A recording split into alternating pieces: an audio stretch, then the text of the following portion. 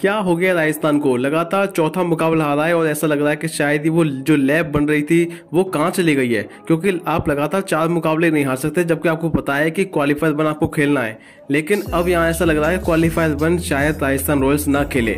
ऐसा लगता है कि शायद सनराइज हैदराबाद के पास मौका है। अच्छा कि वो अगर एक मुकाबला जीत लेते हैं तो यहाँ पे वो क्वालिफायर वन खेलेंगे के के साथ में। वहीं राजस्थान रॉयल्स, जो कि नौ में से आठ मुकाबले जीती थी, ऐसा लग रहा है कि शायद वो एलिमिनेटर खेलेंगे। तो ये अच्छी बात नहीं है कि राजस्थान रॉयल्स के लिए, क्योंकि अगर एलिमिनेटर आपको खेलना है तो फिर आपको इस तरह की पोजिशन क्या ज़रूरत है? क्योंकि देखिए, नौ में आठ मुकाबले जीते थे।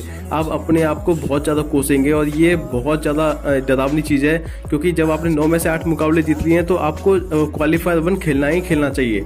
लेकिन यहाँ पे आई है, आप इसमें मोमेंटम एक बहुत बड़ी चीज़ होती है। अगर मोमेंटम आपको नहीं मिलता है तो बहुत बड़ी दिक्कत हो जाएगी। और देखिए, नंबर चार के लिए जो जंग चल रही है ना C S K R C B Hyderabad के बीच में तो आप नहीं चाहेंगे कि बिल्कुल भी कोई भी टीम आए तो आप उनको लोन दें।